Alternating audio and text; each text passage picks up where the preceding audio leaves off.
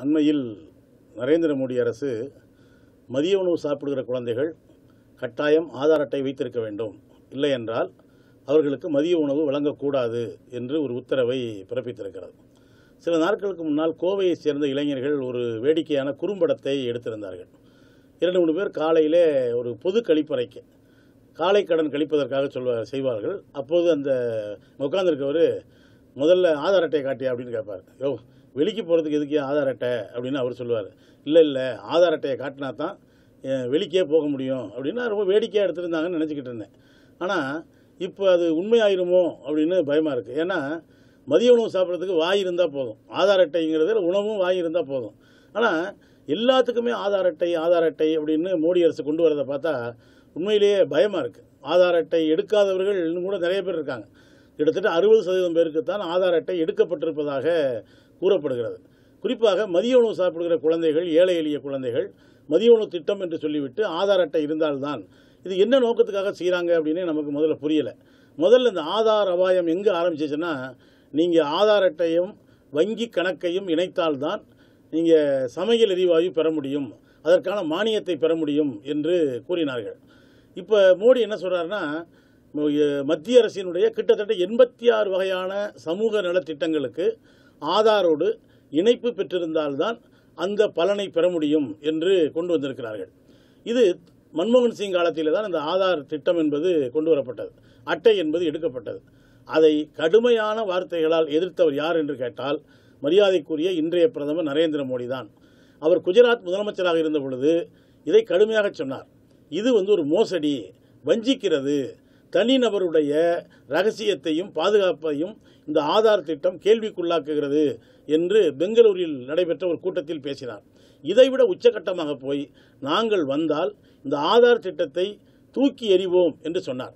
ஆனால் அதன் பிறகு பார்த்தீங்கன்னா ஒன்றொன்றாக இந்த ஆதார் என்கிற பாம்பு ஒவ்வொன்றாக தீண்டிக்கொண்டே இருக்கிறது. நாடாளுமன்றத்தில் நிதி மசோதா மூலமாகத்தான் இந்த ஆதார் கட்டை என்கிற திட்டம் கொண்டு வரப்பட்டது. அது கூட இந்திய அரசு நேரடியாக இந்த கணக்கை எடுக்கவில்லை.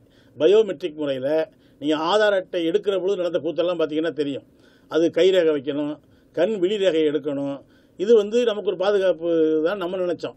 ஆனால் நீங்கள் சமீபத்தில் பார்த்தீங்கன்னா ஒரு மிகப்பெரிய மோடிக்கு வேண்டிய ஒரு செல்ஃபோன் கம்பெனி பெட்டிக்கடை பெட்டிக்கடையாக வச்சு நீங்கள் கைரகையை கொடுத்தீங்கன்னா நீங்கள் உண்மையான ஆள் தானா அப்படின்னு கண்டுபிடிக்கிறதுக்கு பெட்டி கடையில் கூட நம்ம கைரேகை என்பது மத்திய அரசினுடைய பாதுகாப்பில் இருக்கும் என்று நாம் நினைத்தது. அதன் பிறகு இன்னொரு செல் கம்பெனியை எதுவும் வேண்டாம். ஆதார் அட்டையோடு வாருங்கள். செல்போன் இணைப்போடு செல்லுங்கள் அப்படின்னு சொல்லும் பொழுது இது நமக்கு ஒரு பயத்தை உருவாக்குகிறது. உச்சநீதிமன்றம் ஒரு முறை அல்ல மூன்று முறை ஆதார் அட்டையை எதற்கும் கட்டாயமாக்கக்கூடாது என்று திட்டவட்டமாக அறிவித்திருக்கிறது. ஆனால் உச்சநீதிமன்றத்தினுடைய அறிவுறுத்தலை உத்தரவை மீறி ஒவ்வொன்றாக இன்றைக்கு ஆதார் அட்டை என்பது கட்டாயமாக்கப்படுகிறது. இதனால் எளிய மக்கள் ஒரு வேலை தப்பித்தவறி ஆதார் அட்டை எடுக்காதவங்க அப்படின்னு இருந்தாங்கன்னா ஒரு இந்திய குடிமகன் உரிமை கூட பாதிக்குமோ அப்படின்னு பயப்படுற அளவுக்கு எல்லாத்துக்கும் ஆதார் அட்டை என்பது ஒரு காலத்தில் பார்த்தீங்கன்னா இந்த தேர்தலுக்கு வாக்காளர் அடையாள அட்டைன்னு இருக்குது அதனுடைய தேவையை நம்மால் புரிந்து கொள்ள முடிகிறது.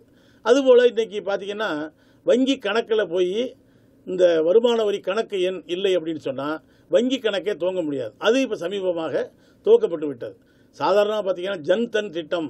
நீ எதுவுமே இல்லாமல் வங்கி கணக்கு துவக்கலாம் என்று சொன்னவர்கள் இன்றைக்கி என்ன சொல்கிறாங்கன்னா சில தனியார் வங்கிகள் ஸ்டேட் வங்கி என்ன சொல்லுதுன்னா உங்கள் வங்கி கணக்கில் குறைந்தபட்சம் ஐயாயிரம் ரூபாய் இருக்க வேண்டும்.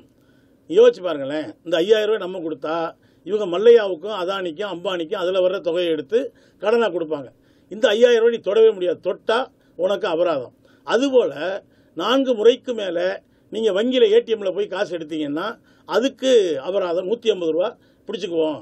அப்படி சொல்கிற அடுத்த கட்டம் தான் இந்த மதிய உணவு திட்டத்துக்கு ஆதார் என்பது கட்டாயம். ரேஷன் கார்டு ஏற்கனவே ஆரம்பிச்சிட்டாங்க தமிழ்நாட்டில். ரேஷன் கார்டு ஸ்மார்ட் கார்டாக தரப்போகிறோம்னு ஆறு மாதமாக சொல்லிக்கிட்டு இருக்காங்க. உள்தாள் இப்படி வந்து வீட்டில் இருக்க ரேஷன் கார்டு எடுத்து பாருங்களேன். ஏதோ சங்க காலத்தில் அச்சடித்த மாதிரியே தெரியும். அது வச்சு நம்ம கண்டுபிடிக்கவே முடியாது. உள்தாள் இணைக்கிறேன் உள்தாள் இணைக்கிறேன் உள்தாள் இணைக்கிறேன்னு ரேஷன் கார்டு பைண்டிங் பண்ண புக்கு மாதிரி இருக்குது அட்டை போட்டால் கூட அவ்வளோ அழுக்காக இருக்குது ஏன்னா கொடுத்தே பத்து வருஷம் ஆகி போச்சு அதுக்கு இன்னைக்கு ரேஷன் கார்டு இருக்கணும்னா ரேஷன் பொருட்கள் வாங்க வேண்டும் என்றால் ஆதார் கட்டாயம். சமையல் எரிவாயு இணைப்பு வங்கியில் மானியம் பெற வேண்டுமானால் ஆதார் கட்டாயம். இதில் என்ன ஒரு மோசடி நடக்குதுன்னா இந்த சமையல் எரிவாயு இணைப்பு கிபிட் அப் விட்டு கொடுப்பதில் மகிழ்ச்சி வேணாம் என்று சொல்வதில் மகிழ்ச்சி அப்படின்னு இந்த இதில் பூரா எல்லா சமையல் அறிவாயும் இவ்வளோ பேர் விட்டு கொடுத்துட்டாங்க. அதில் பல பேர் தப்பி தவறி ஒரு வார்த்தை நீங்கள் பதிவு பண்ணவொடனே வரும். நீங்கள் விட்டு கொடுக்க விரும்புகிறீர்களா? என்னன்னு தெரியாமல் ஆங்கிலம் தெரியாமல் செல்போன் என்னன்னு தெரியாமல் தப்பி தவறி கை வச்சா நீங்கள் இந்த சமையல் எரிவாயுவை மானிய விலையில் வேண்டாம் என்று சொன்னதற்கு நன்றி அப்படின்னு ஒரு கார்டை கொடுத்துருவாங்க.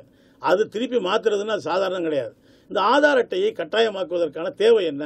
மற்ற சில நாடுகளில் தேசிய குடிமகன் என்பதற்காக ஒரு அடையாள எண் வழங்கப்படுகிறது அதற்குள் எல்லாம் கொண்டு வந்துகிறது. ஆனால் இவங்க ஆதார் அட்டை கொண்டு வந்தப்போ என்ன சொன்னாங்க அப்படின்னா இது சுமார் தகவல் சேகரிக்கிறதுக்காக எடுக்கிறோம். வேற ஒன்றும் நோக்கம் கிடையாது அப்படின்னு சொன்னாங்க. ஆனால் இன்னைக்கு பார்த்தீங்கன்னா மத்திய அரசினுடைய அனைத்து திட்டங்களையும் அனைத்து பயன்களையும் ஆதாரோடு இணைத்து விட்டார்கள். இல்லை என்ன சொல்கிறாங்கன்னா கருப்பு பணத்தை ஒழிப்பதற்காகத்தான் ரூபாய் நோட்டு ஆயிரம் ரூபா ஐநூறுரூவா செல்லாதுன்னு சொன்னவர் இப்போ என்ன சொல்கிறாருன்னா ஆதார் என்பது ஊழலை ஒழிப்பதற்கு பயன்படும். எனக்கு தெரிஞ்சு ஆதார் அட்டையில் பார்த்தீங்கன்னா ஆதார். சாதாரண மனிதனின் அதிகாரம். ஆனால் இன்றைக்கு சாதாரண மனிதன் மீது அனைத்து வகையிலும் அதிகாரம் செலுத்தக்கூடியதாக இந்த ஆதார் என்பது அதை எடுக்கிறதே ஒரு தனியார் நிறுவனம் தான் நம்முடைய எந்த ஒரு தனிப்பட்ட விவரமும் நம்முடைய குடும்பத்தில் எத்தனை பேர் இருக்காங்க? நம்ம வயசு என்ன? நம்ம விரல் ரேகை என்ன? நம்ம கண்விழி என்ன? என்கிற எந்த ரகசியமும் அரசினிடம் பாதுகாப்பாக இருக்கும் என்பதற்கு எந்த உத்தரவாதமும் இல்லை. ஏன்னா இந்த விவரங்களை எடுத்த தனியார் நிறுவனம் யார் கேட்டாலும் கொடுக்கக்கூடிய ஒரு ஆபத்து என்பது இருக்கிறது. எனவே உச்சநீதிமன்றம் திரும்ப திரும்ப இதை எந்த ஒரு திட்டத்திற்கும் கட்டாயமாக்க கூடாது என்று சொன்ன பிறகும் ஆதார் அட்டையை ஏற்கனவே நான் வந்தால் கிழித்து போட்டு விடுவேன் என்று சொன்ன மரியாதைக்குரிய பிரதமர் நரேந்திர மோடி இன்றைக்கு ஆதார் அட்டையை வைத்துக்கொண்டு மக்களை கிழித்து எரிந்து கொண்டிருக்கிறார். இது ஒரு மிகப்பெரிய மோசடி. உச்சநீதிமன்ற தீர்ப்புக்கு எதிரானது. ஆதார் அட்டையை நீங்கள் நிதி மசோதாவாக கொண்டு வந்தது பண மசோதாவாக கொண்டு வந்தது சரிதானா என்கிற வழக்கு உச்சநீதிமன்றத்தினுடைய அரசியல் சாசன அமர்வின் முன்பு விசாரணையில் இருக்கிற நேரத்தில் இன்றைக்கு மோடி அரசு தன்னுடைய அனைத்து திட்டங்களுக்கும் ஆதார் அட்டையை கட்டாயமாக்கியிருப்பது அதிலும் கந்தர்வ கோலமாக பாதி பேருக்கு எடுத்து ஏன்னா ப- பல பேர் தப்பாக இருக்கு. அதை நீங்கள் அங்கங்கே சரி பண்ணிக்கலாம்னு சொல்கிறாங்க பல பேருக்கு எடுக்கவே இல்லை. எடுத்தவங்களுக்கு இன்னும் வராததெல்லாம் இருக்குது உதாரணமாக எனக்கே கூட ஆதார் அட்டை எடுத்தாங்களே தவிர தபாலில் இன்றைக்கி வரைக்கும் வரல. நானாக போய் தனியாக தான் எடுத்துக்கிட்டேன். இது எளிய மக்கள் என்ன செய்வாங்க? இது சாதாரண மனிதனுக்கு என்ன வகையில் அதிகாரம் தருகிறது என்று எந்த விளக்கத்தையும் சொல்லாமல் இந்த ஆதார் என்பது ஒரு மிகப்பெரிய மர்ம வலை போல மக்களை சூழ்ந்து கொண்டிருக்கிறது. இது நலத்திட்டங்களை கொடுப்பதற்கான ஒரு திட்டம் அல்ல மாறாக அரசினுடைய திட்டங்களை மறுப்பதற்காக ஆதாரை ஒரு ஆயுதமாக பயன்படுத்தி கொண்டிருக்கிறது. உச்சநீதிமன்றம் மூணு முறை சொல்லுவாங்க. ஏழை வர்றப்ப மூன்று முறை இதுவரை ஆதாரை பென்ஷன் வாங்க போகணுமா? ஆதார் அட்டை வேணும். நாளைக்கு இப்போ இப்போ நீங்கள் ரயிலில் ரிசர்வ் பண்ணணுமா? ஆதார் அட்டை இல்லாமல் இனிமேல் முடியாது என்று கொண்டு வந்திருக்கிறார்கள். இது மக்கள் மீது தொடுக்கப்பட்டிருக்கிற ஒரு மறைமுகமான யுத்தம். உச்சநீதிமன்ற தீர்ப்புக்கு எதிரானது. ஒரு தனிப்பட்ட மனிதனுடைய ரகசியங்களுக்கு எதிரானது. எனவே உச்சநீதிமன்றம் இதில் தலையிட்டு ஒரு கருத்து அறிவுறுத்தல் போல சொல்லிக்கொண்டே இருக்கிறார்கள். மோடி அரசு அதை மீறி கொண்டிருக்கிறது. எனவே எந்த ஒரு திட்டத்திற்கும் ஆதாரை கட்டாயமாக்க கூடாது என்கிற திட்டவட்டமான உத்தரவை உச்சநீதிமன்றம் பிறப்பிக்க வேண்டும். அதே போல மக்களும் இந்த ஆதார் என்கிற பெயரில் அனைத்து திட்டங்களையும் காலி செய்கிற வேலையை எதிர்த்து பெருங்குரல் எடுத்து பேச வேண்டும் என்று கேட்டுக்கொள்கிறேன்.